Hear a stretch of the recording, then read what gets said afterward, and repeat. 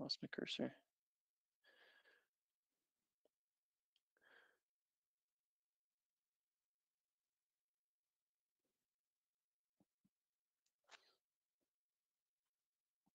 Sorry about that.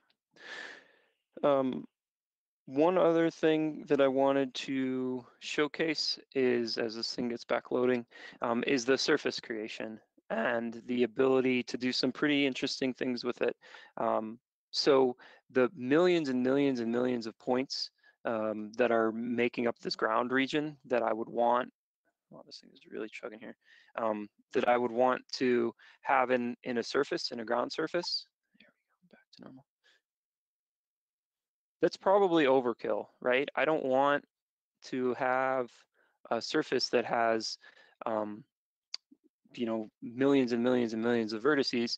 And so TBC has a option, the little text box here, um, for point clouds.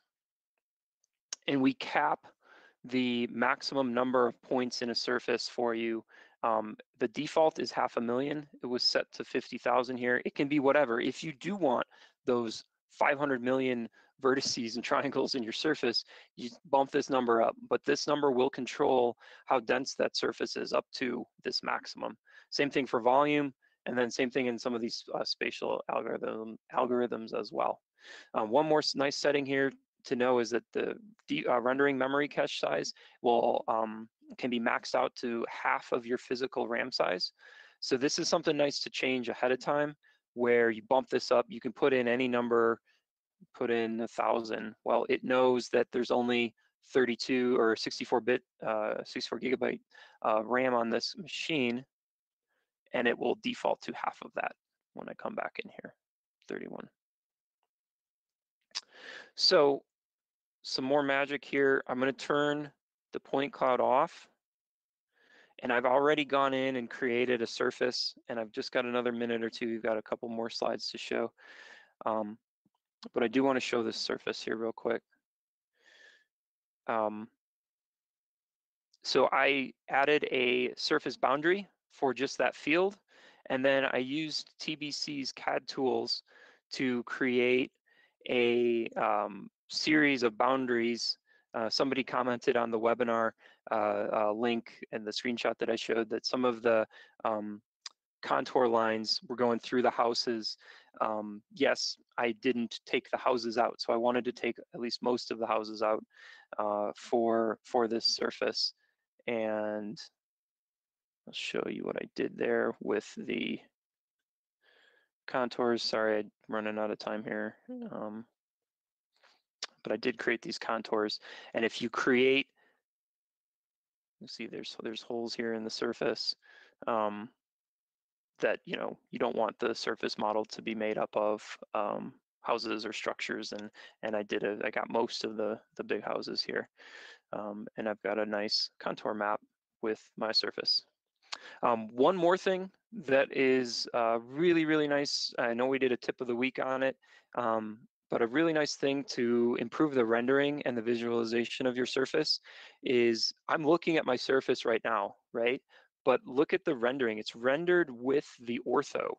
A really nice handy feature in the uh, surface creation, if you add an ortho as a surface member, it will essentially drape the ortho to your surface and um, that's a really nice, nice, handy uh, way to rather than getting a triangulated visualization of your surfaces, you can look at the picture and you can see, and I can see here right off the bat, yeah, I missed, I missed cutting that tree out. So, or excuse me, cutting that that house out. So I would need to go in, draw more rectangles, add it as a boundary to the surface, um, and then update the contour line so I wouldn't have uh, this mess of contours here where this house is. Um, yeah, so there's a whole lot more to do uh, with survey deliverables. I didn't talk about um, doing any QA checks on those control points relative to the surface or relative to the point cloud. Um, from here, you can also do more CAD line work. You can do more manual feature coding in TBC. Um, so again, like this is this is a really nice um, uh, um, demonstration of how TBC is positioning itself to be that one-stop shop for for all of your survey applications. Of course, you know, the traditional GNSS and uh, Total Station, hopefully everyone's familiar with the SX10 and, and you know, we're rolling out the X7, um, but as well, other sensor types as well. You know, our, our friends and our partners here um, with, with Wingtra and, and other drone manufacturers, having TBC be that central data hub for surveyors, for construction folks, um, you know, kind of one software that can meet all your needs rather than having to go bounce from package A to package B to package C. So that is the end of my very long demo. Let me hop back into the presentation. And QA, um, what do we got here, Jeff? Yeah, so there was a good question that came in from John, and he asked, are the points being created on trees based on the classification of the cloud or the images? So the classification. when we were doing tree extraction. Yeah, the classification is all point cloud based now. Um, the team is investigating leveraging and combining uh, imagery with point clouds. And this may be a question more towards uh, Francois, but this is the question came from Daniel, and he was wondering, um, does the Wingtra One have a PPK receiver? And the second part of that question is, is there an advantage to using a GCP network?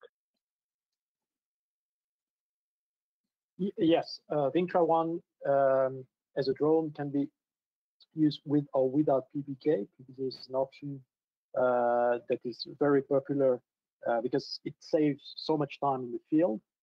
Uh, then the, the question is is okay uh, if I have the option, what is what is better? Uh, my experience and the feedback that we get from user is is really um, PPK saves so much time in the field, and time in the field is very expensive uh, because you have a, a, team, you have a vehicle, you have a, uh, and other other overhead costs. Um, that if you can reduce this time in the field and reduce it to the 20 minutes, I mean, you see in this this in this example, the flight itself was 21 minutes, uh, and measuring all the points. Uh, and I want to thank uh, David Hughes for helping me uh, or for doing most of the job uh, on this region, it, it's it's probably one day of, of work. So you have one day just for the ground control point, and you have 20 minutes for the flight. So it, it's clearly uh, a nice addition to to to have a, a PPK and uh, precise GNSS uh, uh, instead or in combination with ground control. Thank you, Francois. Uh, we had another question coming from Richard, and the question was, can you extract a specific area out of the entire data collection?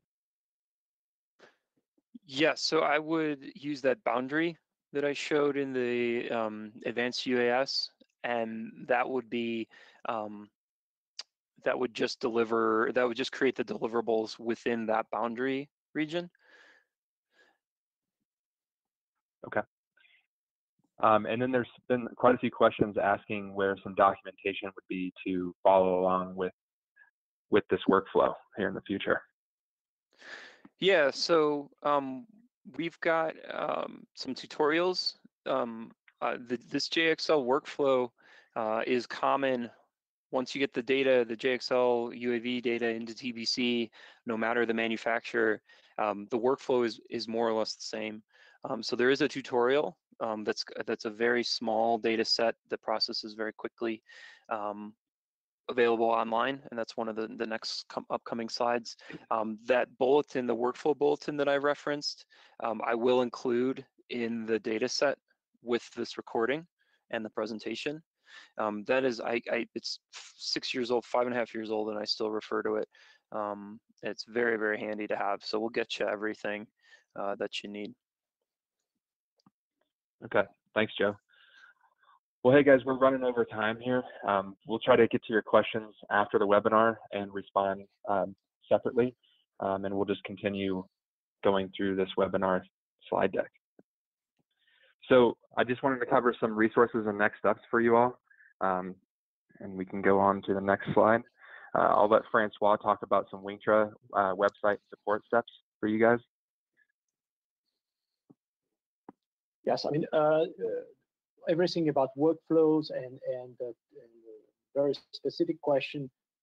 The knowledge base is everything. I mean, it, it's really all the all the latest information with all the, the, details, linked information, and so on. So I could only recommend that. And for general information and to understand the return on investment on this kind of, of numbers, uh, the website is full of case studies, white paper, and uh, the latest release. Is it software or hardware? We are uh, still developing uh, on on both on both uh, fronts. Awesome. Thank you, Francois. So if you guys are curious, we also have the TBC webpage, um, trimble.com slash TBC. Uh, you guys can access all sorts of utilities and licensing as well as installation help. Uh, we also have product bulletins, we have white papers and downloads um, all available on the website, as well as customer success stories and testimonials for you to, to go, go revisit.